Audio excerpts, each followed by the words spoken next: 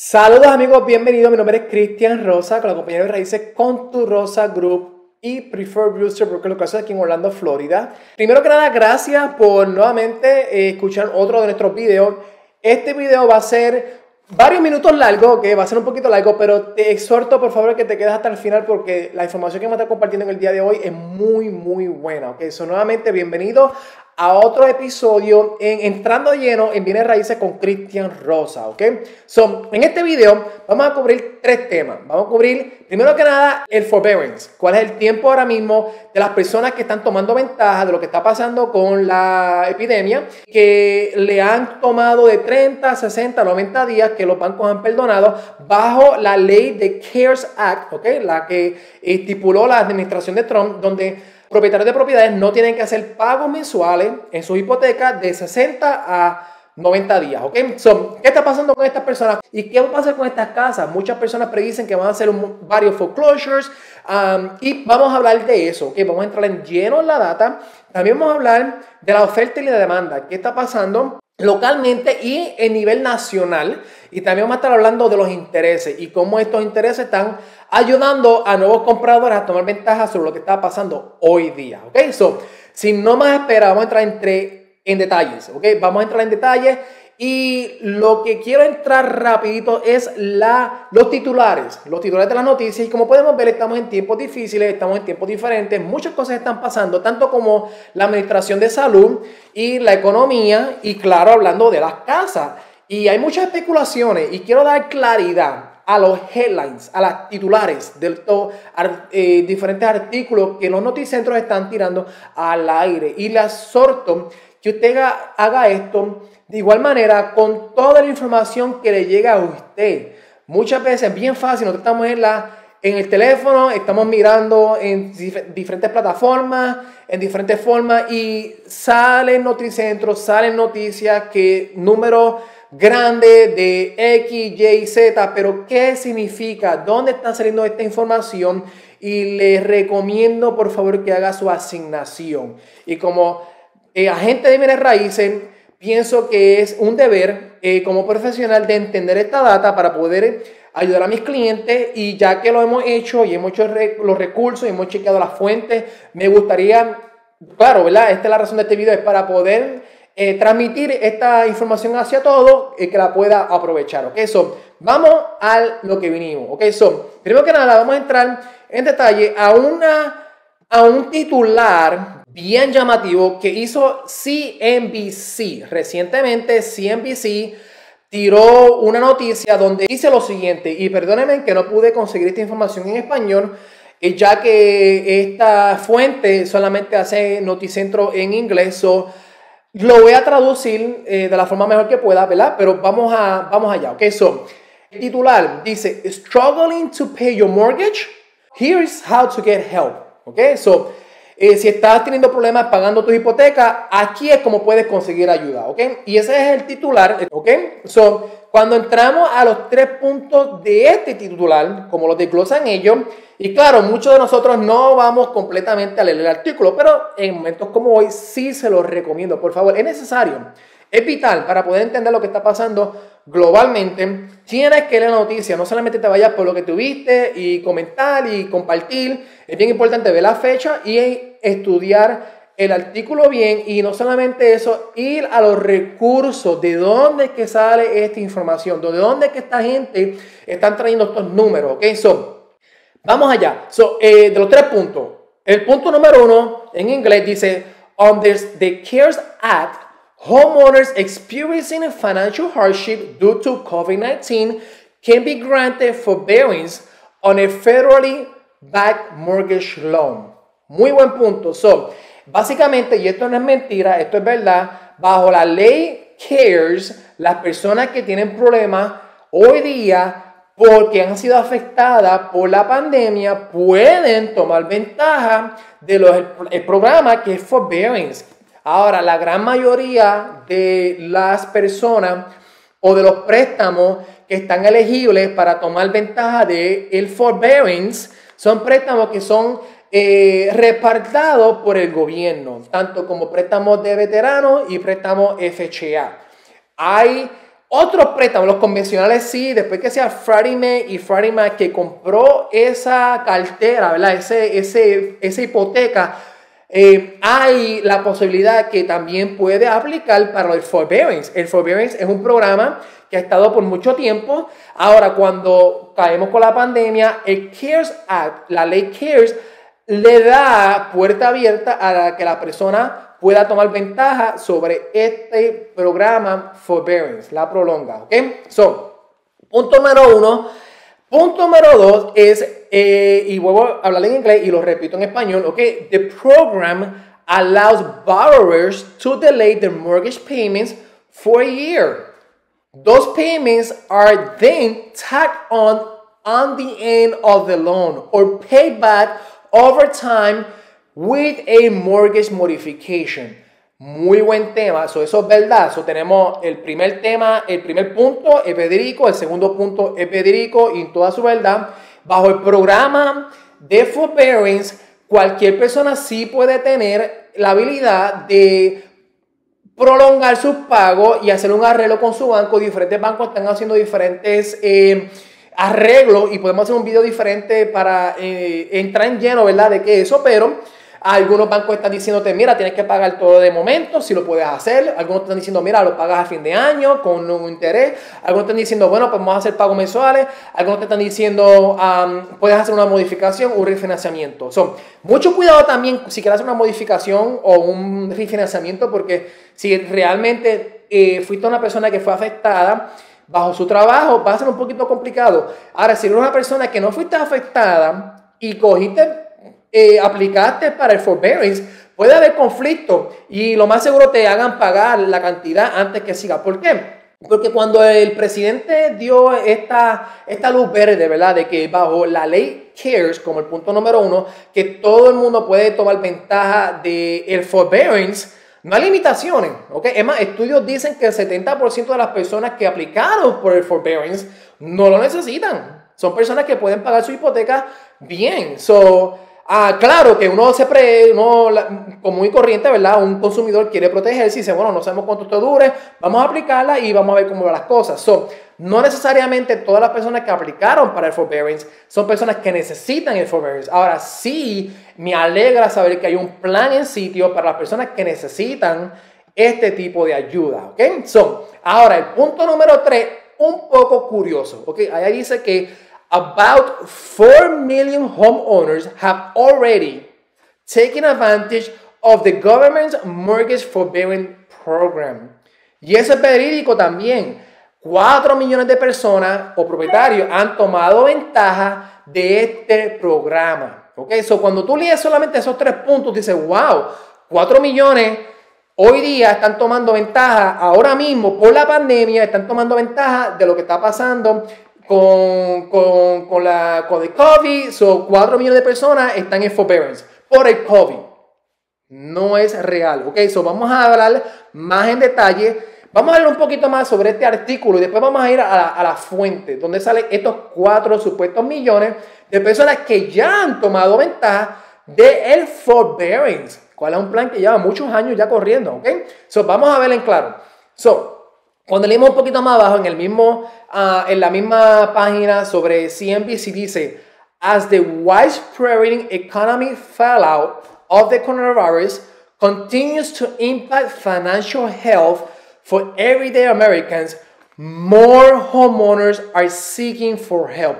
¿Cuál es verdad? Mientras seguimos pasando por esta pandemia, muchos más dueños, propietarios de casa, están buscando ayuda, especialmente ellos que están alquilando propiedades que tienen que dar, ¿verdad? Espacio para que sus inquilinos puedan pagar su hipoteca. Claro que esto va a estar ocurriendo. Ahora, by the start of May, close to 4 million borrowers have already, palabra clave, already in either government or bank forbearance program shows to delay their mortgage payments for at least 90 days. Okay? So, aquí me quiero enfocar y claro que hay más detalles. Yo voy a estar incluyendo el enlace de este artículo en este, en este post, ¿ok? En este eh, anuncio que vamos a estar eh, poniendo en, en las plataformas para que usted lo lea completo, ¿ok? Pero la, la, la línea que más eh, da impacto aquí es close to 4 million borrowers. 4 millones de personas están tomando ventaja o tuvieron que aplicar forbearance. Y después dice already. Ok, eso vamos a entrar más allá porque CNBC es un noticentro, ellos dan noticia y la noticia vende, sea buena, sea mala, la noticia vende y tenemos que tener claridad de quiénes son estos 4 millones de personas que ya han tomado ventaja del de programa del gobierno llamado Forbearance. Ok, so para entrar o para conseguir, mejor dicho, para conseguir esa información, tenemos que ir a, la fuente, ¿ok? So, para eso, tenemos que entonces entrar a la página del Federal Housing Finance Agency, en inglés. Su inicia FHFA. En español sería la Agencia Federal de Financiamiento de la Vivienda, cual publica cada trimestre publica un reporte de lo que está pasando con el programa Forbearance, cual voy a estar, no, igual voy a estar eh, compartiendo el enlace en la página para que ustedes lo puedan estudiar y para que vean el reporte que recientemente salió esta semana, que ahí se ve desglose de lo que esta agencia está haciendo para que las personas no pierdan en su casa. Ahora, entre paréntesis, quiero darle un poquito más de información.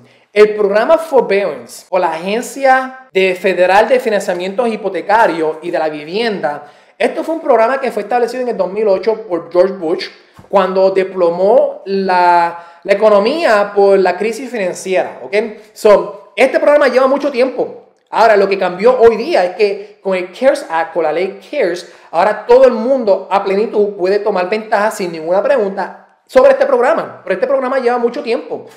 la realidad es lo siguiente, y cuando abrimos el reporte entendemos un poquito más. El, el reporte nos indica lo siguiente, que sí, 4.434 millones de personas que han tenido problemas en el pasado han podido tomar ventaja de este programa desde el 2008.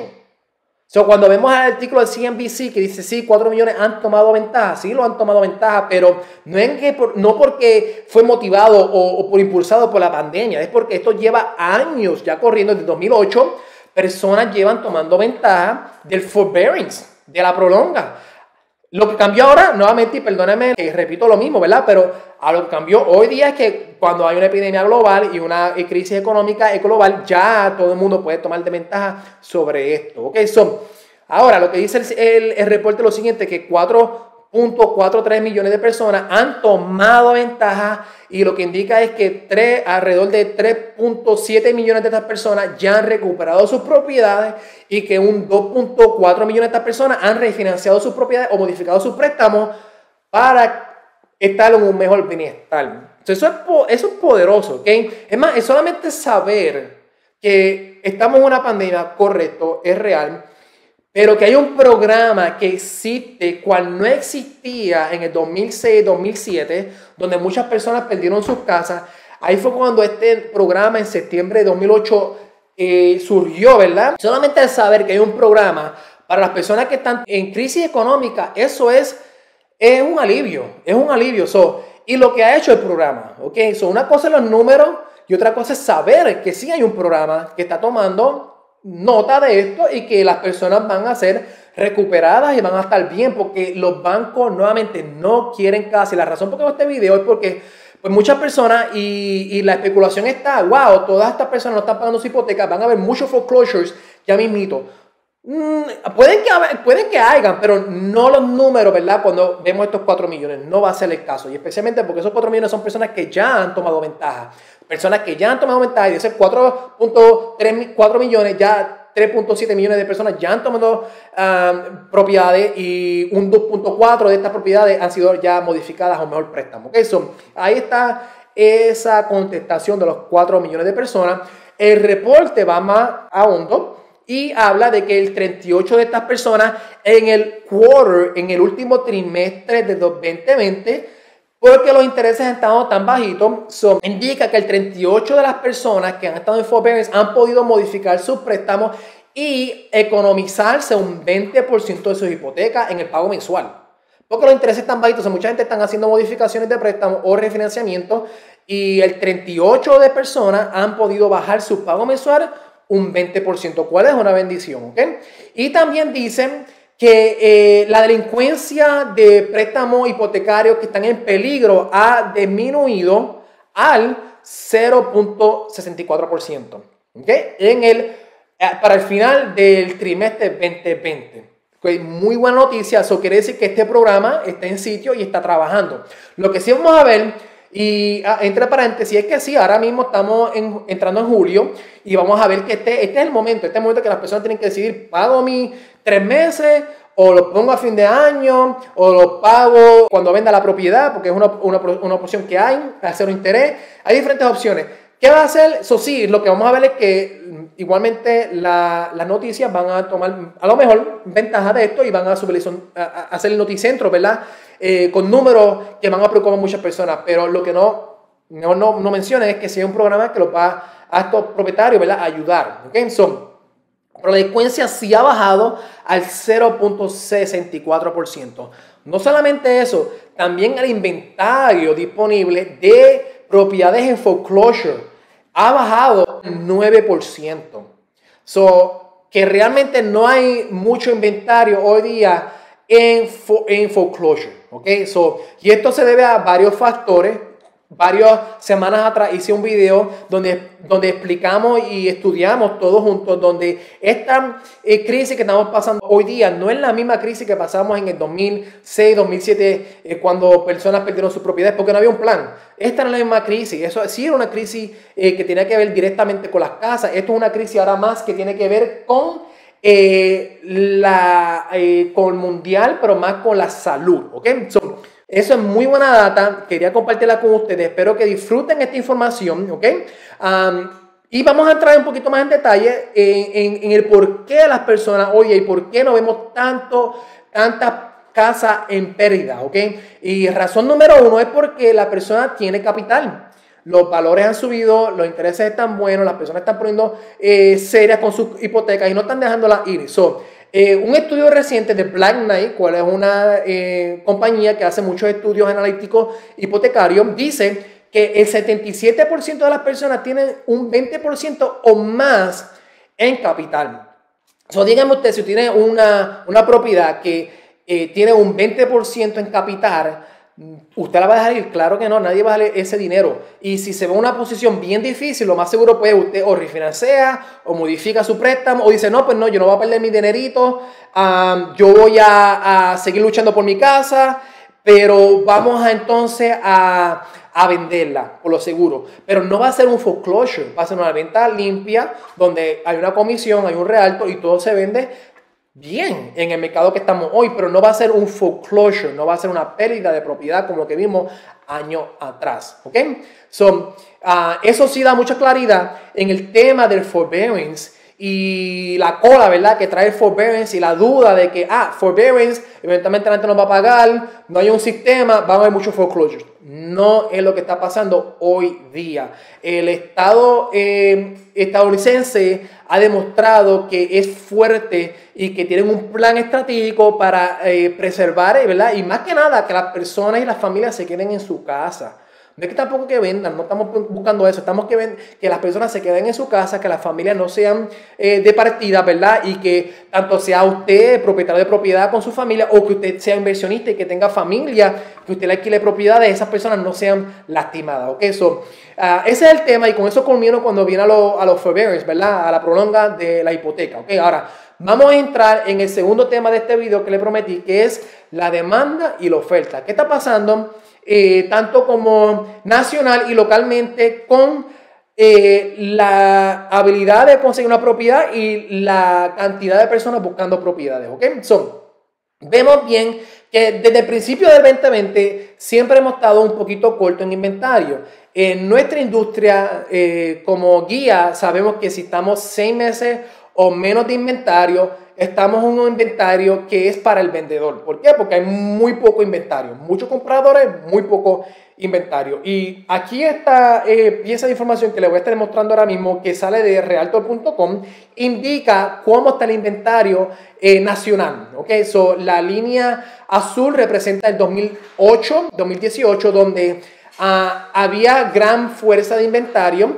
Y después tenemos el 2019, que hay inventario, pero está decayendo un poquito más y ya haremos viendo el 2020 donde realmente no tenemos mucho inventario, especialmente cuando eh, un mes atrás, por tres meses, muchas eh, personas dijeron no, lo vamos a vender, aunque Bienes Raíces fue una de las industrias que fue esencial, seguimos moviéndonos, seguimos trabajando igualmente que la construcción, pero muchas personas tomaron la decisión de, no, personalmente yo no me siento cómodo con que eh, enseñar mi casa, que gente extraña vengan aquí, tengo familia, más el detalle importante que estuvimos haciendo distance learning, so, ah, con los niños en la casa porque hasta la escuela la cerraron. So, tenemos los niños en casa, teníamos familia entrando a la casa, no era un momento dado que muchas personas estaban buscando enseñar sus casas, so, se aguantó. Ok, no que se canceló, pero se aguantó. Ahora, so ahí vemos que entonces la habilidad de propiedades, ahora mismo estamos en descadez. Estamos muy pocas, son muy pocas las casas que están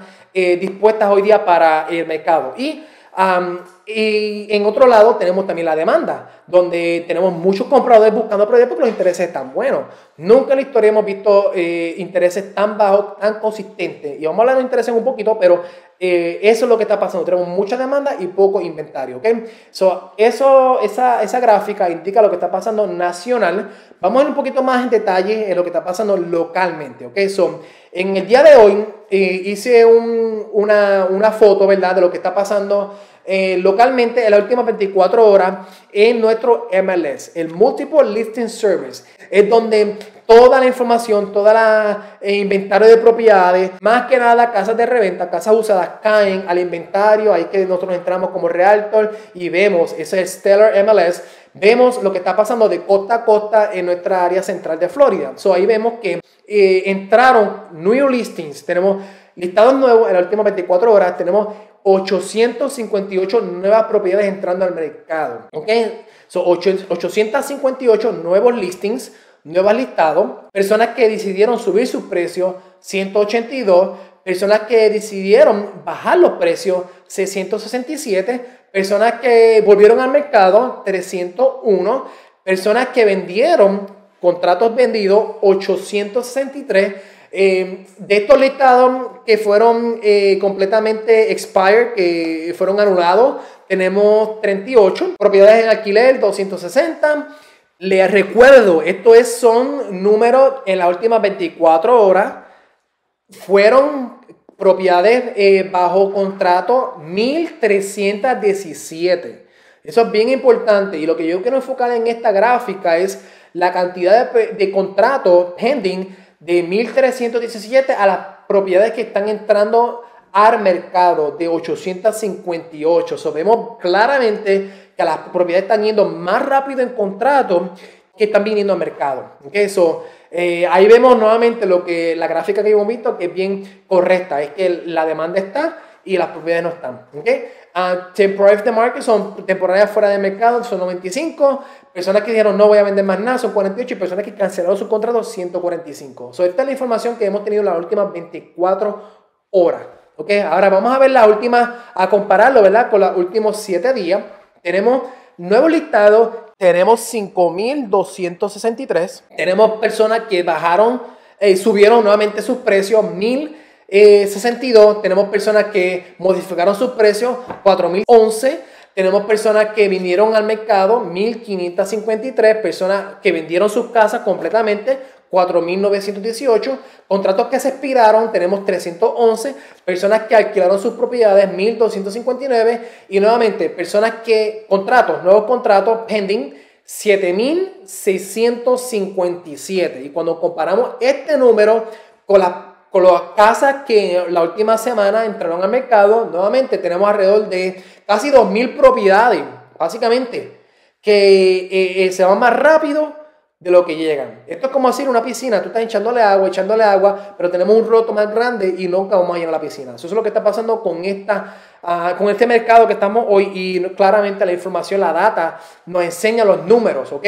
Esta, estas ecuaciones, estos números representan una gran cantidad de casas de reventa. No, no hablamos mucho aquí de las casas nuevas, porque la casa nueva es un mercado tan rápido y la construcción pasa tan rápido que no da chance de que refleje aquí. En cierto modo, por eso es que hoy día, especialmente en el área central de Florida, Vemos que la construcción nueva es una buena alternativa para los compradores. No solamente porque hay incentivos, hay buenos intereses, una casa nueva tiene garantía, es porque te da opciones. No estás entrando a un negocio a arreglar una propiedad, sino estás comprando una casa nueva con garantía, te dan incentivos y tienes la habilidad de escoger tu lote y hacer tu casa de la forma que tú quieres y no tienes que estar peleando con múltiples ofertas. Y le voy a decir bien honesto, hace poquito ah, tuvimos una propiedad que cayó al mercado, una casa usada, cayó al mercado en cierta área en Orlando y tuvimos 10 ofertas por una casa.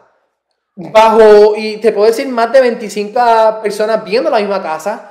Y de esas 25 tuvimos alrededor de unas 10 ofertas y obviamente una persona se la lleva. So, ahí vemos claramente la demanda y la de escasez, ¿verdad? De, de inventario, ¿ok?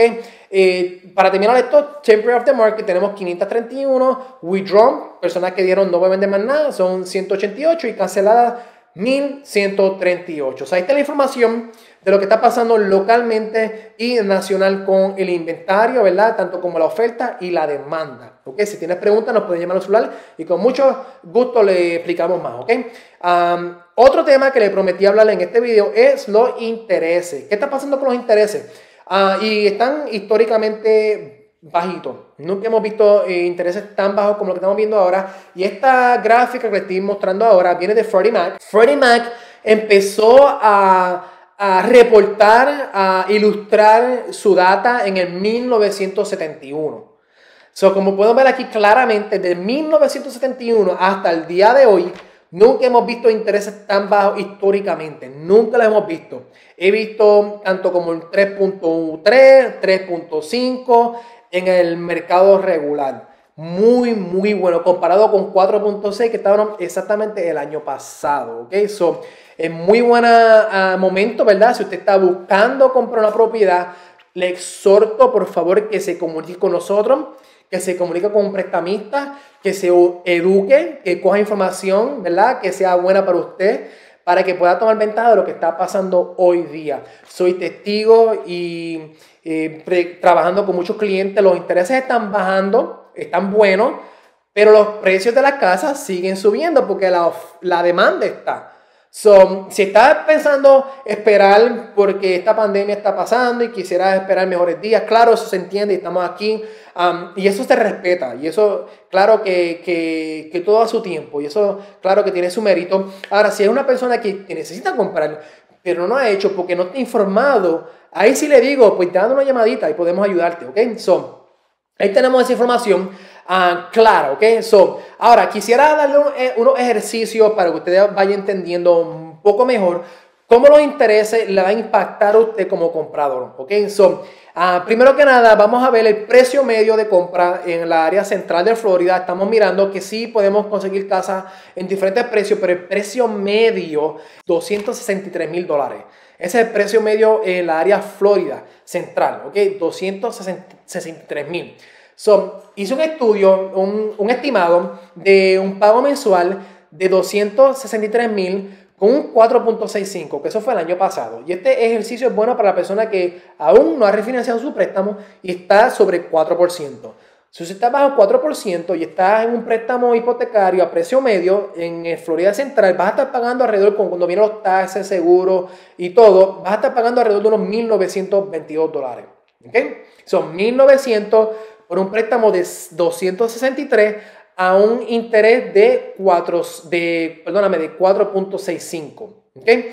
Ahora, hoy día estamos viendo intereses un poquito más bajos. por el mismo precio de compra, 263 mil a un 3.35, la misma casa va a estar pagando 1.729,33. Esto es una diferencia de 193 dólares mensuales. Cuando ponemos esos 193 dólares por el tiempo del préstamo, estamos hablando de casi 70 mil dólares. Te estás ahorrando en un periodo de 30 años. ahora vemos el por qué ah, la demanda está. porque las personas saben los números, saben que los intereses están bajos y saben que son grandes uh, descuentos mensualmente y también el plazo largo de su hipoteca. Uh, eso es lo que estamos viendo en el mercado regular. Un 3.3, 3.5 por ahí más o menos. Depende de su crédito. Y tengo que poner un paréntesis aquí y, y aclarar, ¿verdad? Que esto es con excelente crédito estos tipos de intereses nosotros están ofreciendo a todo el mundo. So, esto solamente para personas que tienen un perfil, ¿verdad? Que tienen sus trabajos, tienen sus pensiones, tienen un buen crédito y pueden tomar ventaja de lo que está pasando hoy día. Si eres una persona que necesitas ayuda, por favor, danos una llamada y te podemos ayudar en poder hacer una meta, ¿verdad? De que aquí un tiempo puedas alcanzar la empírica que necesitas para que puedas comprar tu casa y aprovechar de lo que está pasando hoy día, porque las predicciones dicen que esto siempre va a seguir por unos meses de esta forma, ¿ok?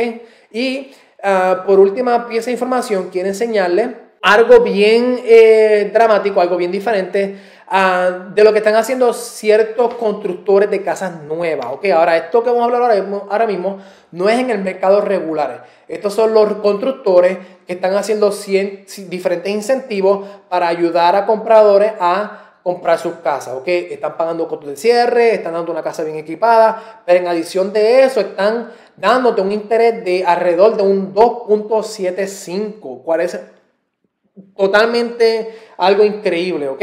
Ahora, si era una persona comprando nuevamente una casa en 263 mil, con un interés de un 2.75, este mismo préstamo hoy día está pagando 1.645. Esto es una diferencia de 277 dólares mensuales. Es grande, eh, familia. Si usted está buscando, si está pensando comprar una casa, es el momento, de verdad, me encantaría que podamos hablar, porque esto es una diferencia en 30 años de 99 mil dólares. Una gran diferencia que te va a correr y que te va a estar ahorrando en intereses en el plazo largo, que son mucho dinero. Esto también quiere decir que personas que en un momento dado están buscando una casa en particular en un pago mensual y no lo pueden alcanzar, hoy día puede ser que la puedas comprar. So, danos una llamada para poder informarte bien, poder darte la data, la información y guiarte de la forma correcta para que compres tu casa. Okay, so, ese es el propósito de este video. Ah, espero que le haya gustado. Ah, hablamos rápidamente de lo que es el forbearance, la prolonga, cómo está la demanda y la oferta y vimos la data y vimos los intereses. Si has visto el video completo, te quiero decir las gracias. Gracias por quedarte conmigo hasta este momento, ver el video completo. Espero que le haya gustado. Si tienes preguntas, me pueden llamar en cualquier momento al 407-334-0717 y con mucho gusto le damos información. Y aquí estamos para servirle. Eh, gracias, lindo día, cuídense, Dios me los bendiga.